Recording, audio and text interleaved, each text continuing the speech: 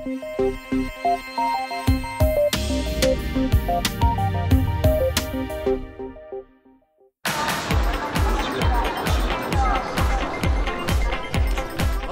از قلب توکیو با شما هستیم با گزارش ویژه از برنامه دانش و فن. نمایشگاه سبیت بزرگترین نمایشگاه بین المللی فناوری اطلاعات هفته آینده در هانوفر آلمان برگزار می شود در آستانه برگزاری این نمایشگاه به سراغ چند شرکت ژاپنی می رویم اینجا مرکز استارتاپ های تولید کننده دستگاه های اینترنت اشیا است شرکت سرو یکی از این شرکت هاست که ابزار و دستگاه های مختلفی طراحی و تولید می کند. از لامپ که با فرمان صوتی کار می کند گرفته تا کفش های واقعیت مجازی.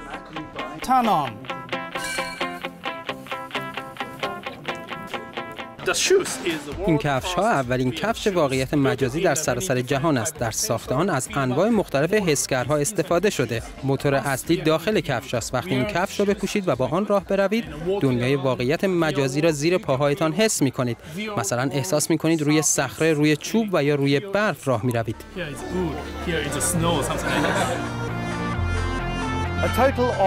118 شرکت مرتبط با فناوری های نوین ارتباطی از ژاپن در نمایشگاه امسال حضور دارند. تعدادی از این محصولات همکنون در بازارهای این کشور عرضه می شود اما هنوز وارد بازارهای اروپا نشده.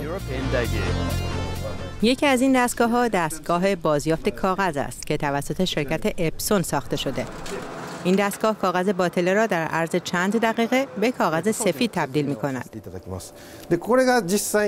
درباره دستگاه پیپر لب یا آزمایشگاه کاغذ برایتان توضیح می دهم. این کاغذهای باطله حاوی اطلاعات محرمانه هستند. آنها را وارد دستگاه می کنیم.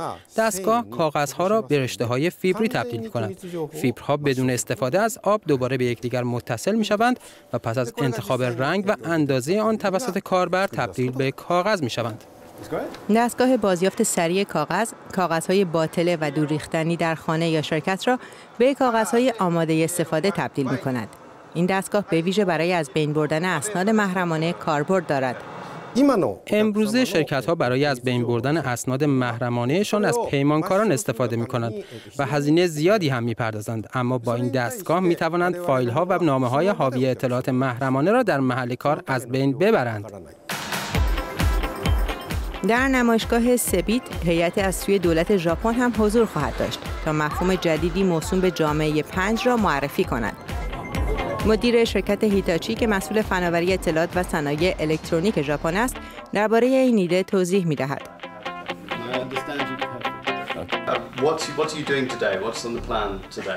ژاپن در زمینه فناوری های فیزیکی مثل فناوری نانو و حسگرها توانمند است. ما می خواهیم این فناوری ها را با هم ادغام کنیم تا هرچه سریعتر به ایده جامعه پنج تحقق ببخشیم. امیدواریم بتوانیم با مردم سراسر جهان همکاری و فرصتی ایجاد کنیم که این مفهوم نوین در کشورهای دیگر هم جا بیفتد.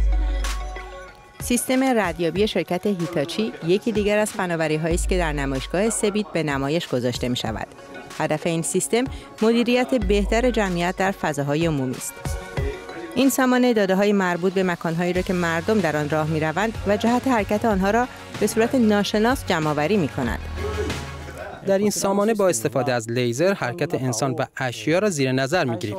نیاز نیست که به افراد یا اشیا حسگر خاصی متصل باشد. با استفاده از نتایج حاصل از این نظارت می توانیم درباره چگونگی حرکت مردم در محیط های شهری تحقیق کنیم. مثلا این نقطه من هستم. اگر به سمت عقب حرکت کنم می توانید مسیر حرکت من و سرعت راه رفتنم را روی این صفحه ببینید. مشتری بسیاری از محصولات حوزه فناوری های نوین دولت ها و شرکت ها هستند. در حالی که تعدادی از آنها برای طرفداران فناوری های نو جالب است. از این ربات می توانید در خانه استفاده کنید. این ربات مجهز به پروژکتور است. می توانید در خانه با او به این طرف آن طرف بروید و در اتاق خواب شما شارژ می شود. هر روز صبح ساعت هفت وقتی از خواب بیدار شوید برایتان موسیقی زیبا پخش می کند و می توانید اخبار مربوط به ترافیک شهری را روی سقف اتاق ببینید. محصول ما در آینده به این شکل خواهد بود.